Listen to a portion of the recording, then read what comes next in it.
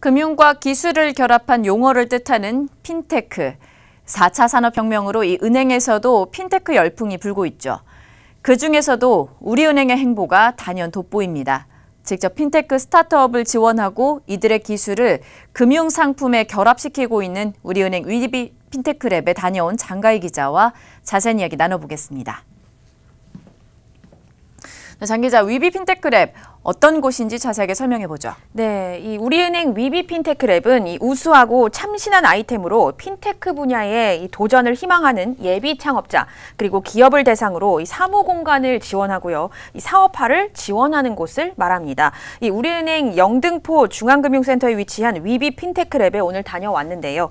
이 지난해 8월에 문을 열었고 이 85평 규모로 회의실과 휴게실 그리고 자유로운 토론이 가능한 공간 등으로 구성이 돼 있었습니다. 이곳에는 현재 다섯 개 기업이 입주해 있었습니다. 그러면 이 위비 핀테크 랩에 어떠한 기업들이 입주했습니까? 네, 이 은행이 육성하는 스타트업이라고 해서 이 무조건 금융과 연계된 기업이 있는 것은 아닙니다. 이 위비 핀테크 랩 2기를 보면 이 트라이월드 홀딩스라는 업체가 있는데요. 이 중고차나 수입차를 구매할 때 이 차량 수리 인증 및 연장을 보증해주는 서비스 앱입니다. 이 터논이라는 기업은 이 공공요금, 학원비 등 자동이체 결제를 간편 신청하고 관리하는 이 자동이체 모바일 앱을 개발 개발하고요. 또 엠로보라는 기업은 봇을 이용해서 모든 종목의 투자 정보를 제공하는 맞춤형 투자 정보 큐레이션 서비스를 개발하는 기업입니다. 또이 엘핀이라는 기업은 이 위치 기반 모바일 인증 서비스를 개발하는데요. 이 이동통신 기지국에서 발신되는 고유 정보를 활용해서 실시간으로 이 위치 기반 정보를 이용해 인증이 가능하도록 합니다. 이 현재 쓰이는 인증 방식은 사실 이 공인 인증서나 이 휴대전화 인증번호를 누르는 식인데요.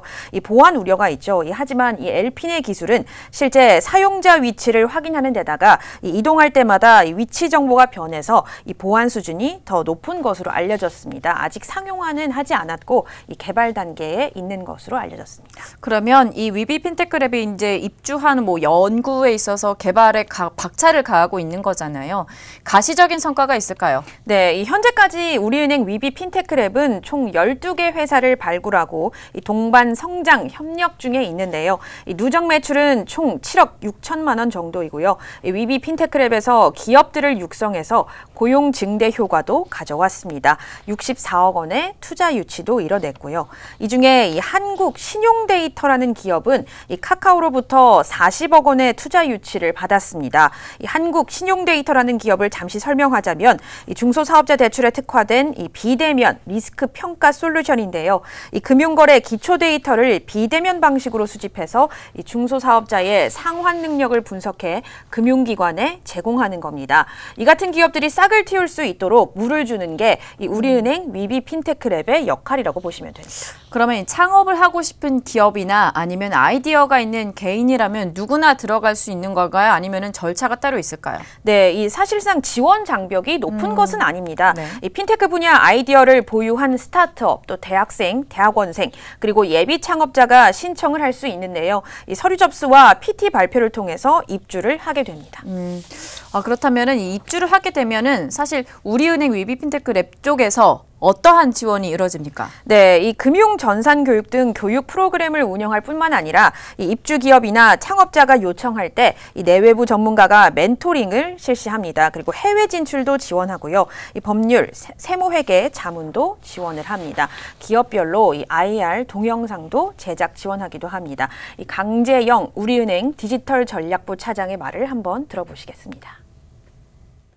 어, 유피테크랩은 우리은행에서 이제 16, 2016년 8월에 그 핀테크 관련된 어떤 이제 기술이나 아니면 서비스를 가지고 있는 기업분들을 한번 발굴해서 같이 한번 서로 도모, 성장 도모할 수 있는 것들을 한번 만들어 보자라는 취지에서 기술적으로 완성도가 있는 것들은 저희가 내재화 시켜서 예, 저희 쪽으로 같이 예, 서비스하는 형태들 그럼 이런 기업들이 들어오면서 어떠한 장점이 있습니까? 네, 이 아무래도 스타트업이다 보니까 이 시행착오도 많이 겪, 겪을 텐데요. 여러 기업이 함께 입주해 있어서 이러한 고충을 나누고 함께 해결해 나간다는 점에서 음. 이 시너지 효과가 생긴다고 입을 모았습니다. 어, 위비 핀테크랩 2기인 이석준 엘핀 대표의 말을 한번 들어보시겠습니다.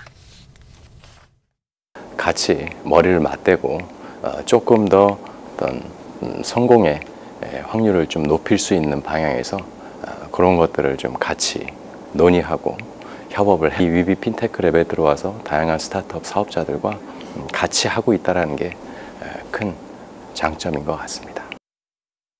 네, 우리은행은 지난해 말이죠. 이 위비 핀테크랩 시네마 데모데이도 개최를 했다라는 말이 있었는데 이게 무슨 말입니까? 네, 이 스타트업들이 네. 각 기업의 이 다양한 핀테크 사업과 이 향후 계획을 이 벤처 캐피탈 등 관계자들에게 소개하고 이 투자 유치와 기술 판매 계약을 추진하는 자리였는데요. 어, 이날 입주 기업들의 에피소드와 인터뷰를 바탕으로 제작한 단편 영화 이 대한민국 김 대표를 상영했습니다. 이 스타트업이 경험하는 현실과 이 애환을 담은 영화인데요.